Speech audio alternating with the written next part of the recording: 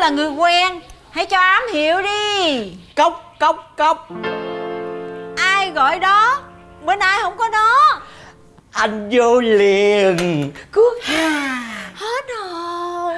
Hết rồi cũng thấy ghét quá trời em biết đó à. Ừ, rồi um, ừ, qua đây đi vậy? Ừ, thì ừ, qua đó em điện thoại cho anh á em nói là em thèm ăn cháo cái trời cả đêm anh không có ngủ được luôn rồi á. Cái anh canh vừa đúng 4 giờ sáng anh đạp xe đạp cả 10 cây số tới cái chỗ bán cháo á.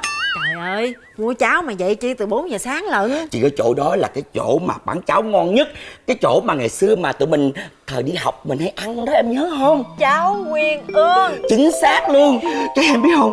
Anh chờ chờ tới 7 giờ sáng luôn mà cô không thấy nó bán nữa em. Phải rồi bị nó bán 4 giờ chiều mà ờ ờ ha trời lâu quá mình không có ăn đó. Cái anh quên. Già cả lớn tuổi lẫn thận rồi phải không? thì đó ờ, anh nghĩ không có cháo thì mình ăn phở. Anh nhớ trực tể cái quán phở gần nhà anh nó ngon khủng khiếp luôn em ơi. Ủa như vậy là anh đạp xe 10 cây số từ quán cháo về quán phở để mua phở cho em hả? Vì em anh làm tất cả mà.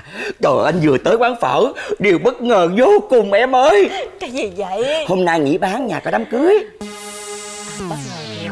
ừ. Rồi sao nữa? Thì thì cái, cái anh anh anh anh nhớ trực lại. Cái cái cái quán bún bún riêu. Trời, ở đâu không ngon bằng quán bún riêu kế bên quán cháo mà xưa mình hay ăn đó. Trời đất ơi. Rồi đừng có nói là ông đạp xe từ quán phở chạy ngược ra quán bún riêu kế bên quán cháo. Ba chục cây số để mua cháo cho sen nha không anh đạp từ quán phở đường cây số nữa là anh muốn xỉu rồi. Cái anh anh tấp đi tiệm thuốc tây. Cái ờ, anh mua thuốc trợ tim anh uống. Cái anh nhắm từ tiệm thuốc tây mà tới chỗ ba bán bún riêu á là đi không kham nổi rồi. Anh mới ừ, đạp ngược về nhà em thêm cây nữa là 22 cây. Ủa rồi sáng nay á sen ăn gì? Ăn cái này nè. Món nước gì vậy? Bánh mì là bánh mì á hả? Bánh mì đó em. Sao giống cục bột mì quá vậy? Tại vì đứng chờ em cả 3 tiếng đồng hồ luôn đó. Cho nên là ờ, từ bánh mì nó chuyển sang bột mì rồi. Trời ơi nó teo héo à. Nhìn thấy thương quá à. Nhưng mà em thích em thích thật là anh vui rồi. Em vô em lấy miếng nước tương ra cái em hai đứa mình chấm ăn. Bánh mì nguyên ương chấm nước tương ăn cho nó dễ thương. Trên lòng anh vấn dương và cảm thấy thương càng thương. Trời ơi chú à, thôi thôi thôi thôi không. Không để để anh để anh lấy nước tương. Ui ui dạ sao, sao, sao, sao vậy Minh ơi? Minh sao vậy? Đạp đạp nhiều quá như nó muốn lỏng gối hay sao á. Trời ơi già cả lớn tuổi rồi đạp chi vậy không biết nữa ha cháu bậy bạ cũng được. Miễn Minh mua qua là Sen thích ngồi. Không có cần phải cực khổ gì nữa nghe không? Mai mốt mang giày nữa là giận đó. Ừ. Trời gì vậy? Già cả lớn tuổi rồi Ai mà thấy người ta nói mình già dê đó? Ừ, ừ, ừ, anh chấp nhận dê? Em không nghe người ta ca sao? Cả gì?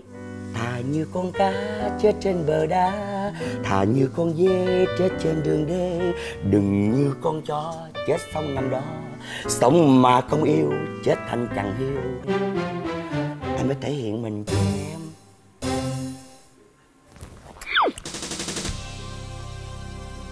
Bánh Bất ít đi. ngờ thật luôn á. Bánh ít đi, bánh quy lại. Ờ, Làm gì nữa vậy? Ờ, Nhìn thẳng vào mắt anh đi. Trời ơi, bình tĩnh mà sống. Sao mà gấp quá vậy nè?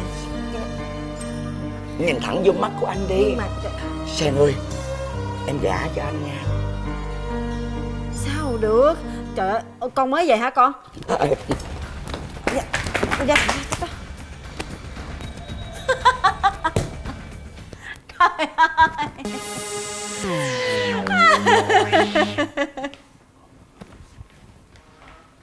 Sen đó nha. Vẫn cho nó vui. Ai về đâu nó không vui. Chứ còn gì nữa. Ừ, ừ, tại vì á ờ, anh ờ, bất ngờ thôi. Chứ anh mà sợ đâu mà sợ. Anh chưa chuẩn bị tâm lý kịp nên anh anh quảng hốt anh trốn vậy thôi à Nhưng mà nói nghe nè Giỡn thì giỡn vậy thôi chứ Cái này nói thiệt nha. Từ rày về sau á mình đừng qua nhà sen thường quá. Con sen nó không có thích cái gì vậy? Tại sao không thích chứ? Nó không muốn cho sen quen với ai hết trơn á. Mỗi lần mà sen tiếp xúc với đàn ông nó ghét lắm. Nhất là với minh á. Nó nói nó ghét minh nhất trong số đàn ông mà nó biết đó. Nó nói thằng cha già gì đâu mà nhìn mặt ó đâm hắc ám. Má con ơi. Nó về kìa. Ừ, nó về. Trời trời trời trời trời. Nó nói vậy đi về có có có cái nào? Trời ơi đi ra lẹ lên đi ra. không được. Ra nó thấy nó thấy nó thấy nó thấy. lên lên con má ơi. Ờ, má ra liền má ra liền. Em em ơi có có chỗ nào trốn không vậy? Vô trong phòng của sen trốn trong đó đi. Không được. Trời ơi bây giờ vô toilet. Ờ đi. Không không không được cũng không được nữa. Toilet lỡ vô toilet nó nó nó nó nó, nó làm cái gì đó nó tắm rửa hay cái gì đó là mất công là người ta thấy sao? Bây giờ bây giờ bây giờ sao? trốn đâu được thì trốn chui vô lùa gạo Rồi, chỗ đó. cũ. ra tôi tính.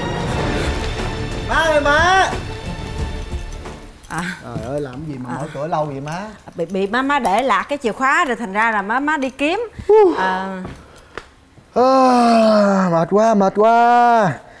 Ơi Ngược quá ủa Ủa? À. Hết nước rồi đây à, à, con, con, con đi con đi đâu vậy? Con đi lấy nước. Con đi đường này giùm má được không? Ủa đường này có gì hả? À, à, cái cái cái đường này má mới lau nhà. À, thành ra là sợ đi con trợt té rồi con bị uh... Ờ con con hiểu rồi con hiểu rồi. Thôi để đi, đi đường này. Đứng lên cái gì lẻ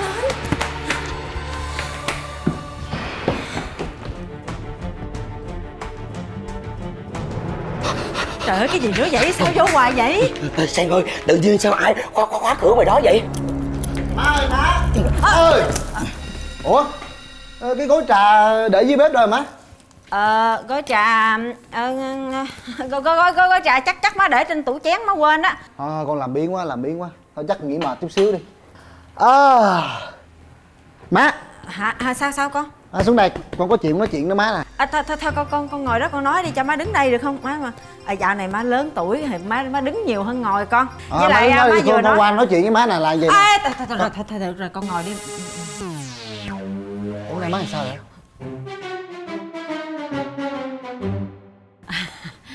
Hôm nay thấy má lạ lắm nha à đâu có gì đâu con cũng vậy thôi hà. Ủa, ủa mà sao nay thấy má lạ nha Có gì đâu căng thẳng má bình thường mà. Ừ, mà thôi má nghe má hỏi nè. Con đi đâu mà cả tuần lễ con mới về vậy hả?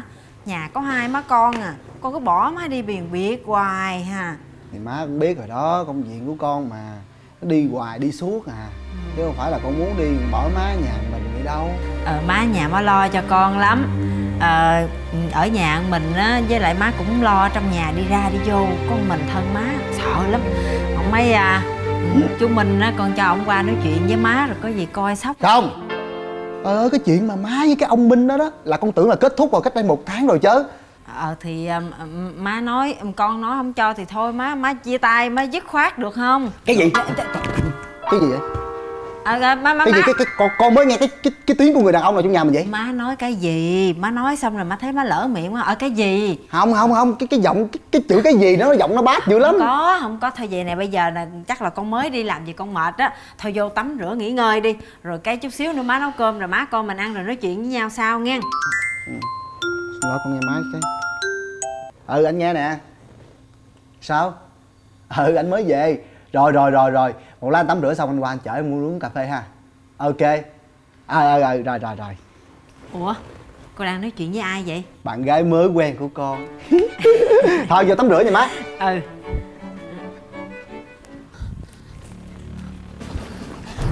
Đi về lẹ lên đi. Nó ra cái là chết đó. Tối tối gọi điện thoại nghe. Rồi biết rồi. Má ơi Là chú hả? Chú vô đây làm cái gì? ờ, con à, ờ, tại, dạ, à, chú ờ, Ờ, ừ, chú chẳng qua là chú qua đây để giúp Hai người làm cái gì vậy? ờ, mèo ếch nè. Buông ra. Kỳ cục quá. Má. Má ngồi xuống đi. Má ngồi đi. Còn chú nữa. Chú cũng ngồi xuống đi.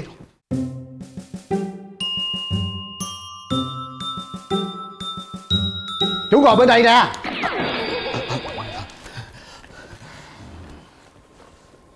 má ngồi bên kia kìa mỗi người một ghế má hiểu không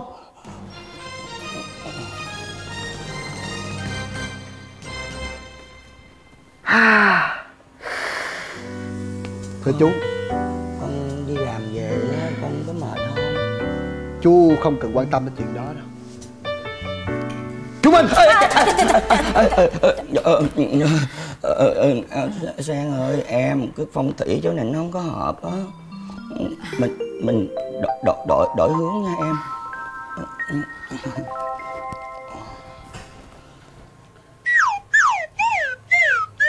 Tại sao vậy? Nhiều khi con lớn tiếng thì người ta nói con hỗn nó lại không hay. Thôi con sẽ cố gắng bình tĩnh thật bình tĩnh để nói chuyện với chú. Ờ đúng rồi. Bình tĩnh đi con con. con đã nói với chú cách đây một tháng rồi. Con nói là chú là đừng bao giờ qua đây rồi quến má của con nữa tại sao chú không nghe? Chứ cứ qua đây hoài là sao vậy chú minh?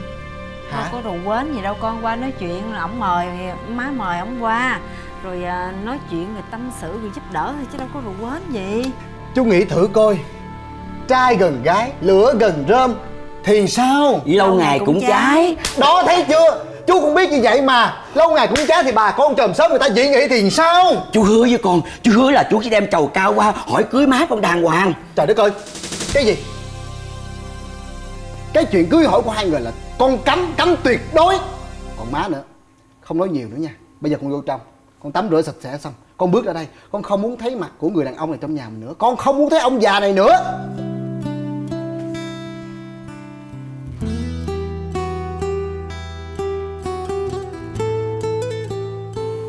Sen Chia tay hoàng hôn mình đi về đi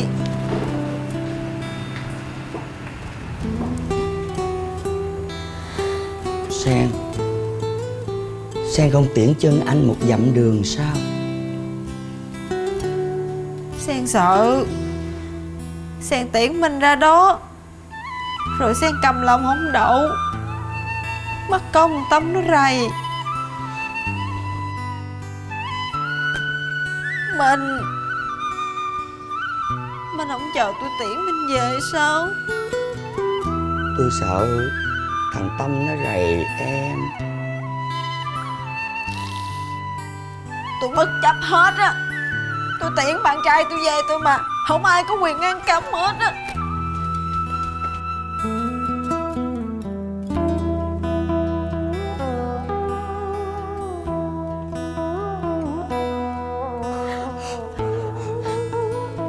Sao mình không được?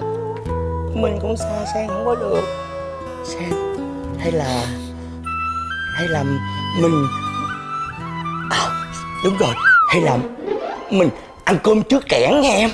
Ờ vậy nó nhẹ nhàng hơn Nó ăn bữa cơm với nhau thì được hả? Cái gì ăn cơm trước kẻ? À, Không. Trời ơi tôi đang khóc nghe em nói ráo nước mắt liền vậy đó. Không, Nói ý- bậy nói bạ cái gì vậy? Coi thường tôi vừa vừa phải phải thôi chứ. Không phải không phải. Ý, ý, ý, ý, ý, ý, mình muốn nói là mình bây giờ ra quỹ ban á Mình đăng ký kết hôn nha cho nó danh chánh ngôn thuận. Lúc đó ừ, ừ, mọi chuyện đã xong hết rồi thì con của em nó có biết á Thì nó cũng đâu làm gì được. Đúng rồi.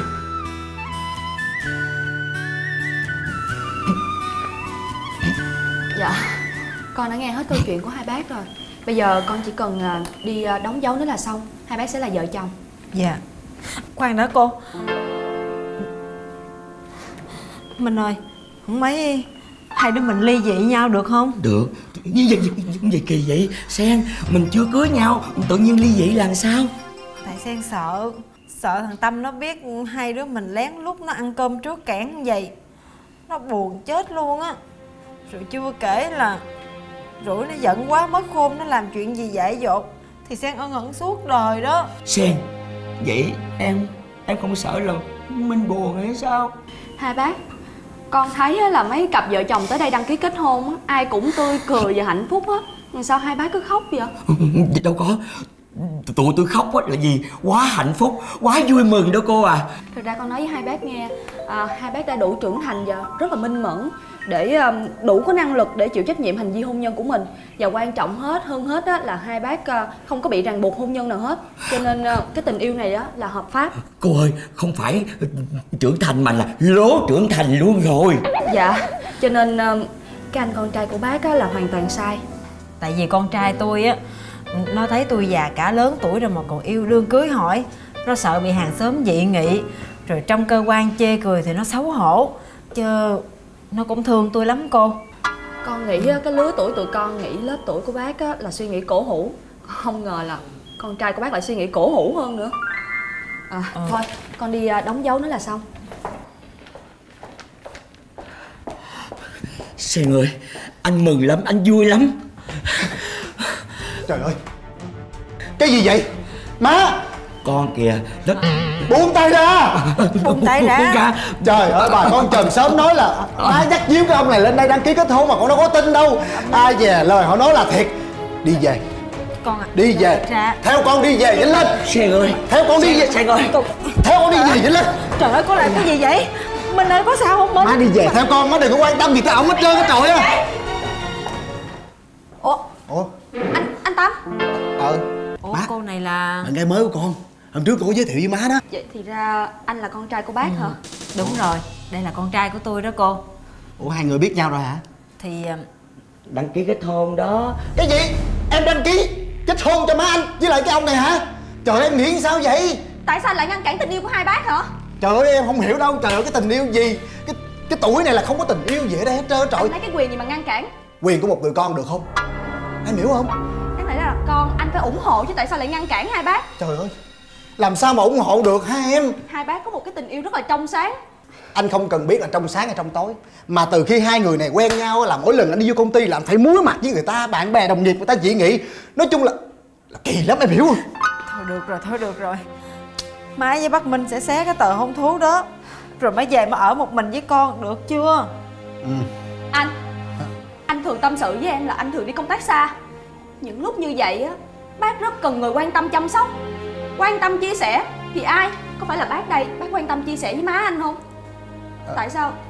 Anh lại ngăn cản cái tình yêu đẹp như vậy? Hai bác đến với nhau rất là nghiêm túc mà. Nhưng mà chỉ vì anh sợ người ta dị nghị sợ mắc cỡ. Mà anh ngăn cấm tình yêu của hai bác hả? Anh có biết là mẹ anh cũng cần một người đàn ông chăm sóc không? Anh quá ích kỷ. Anh thử nghĩ đi. Nếu như anh là người đàn ông của đời tôi thì tôi nghĩ là mình sẽ không có hạnh phúc với cái tính ích kỷ của anh đâu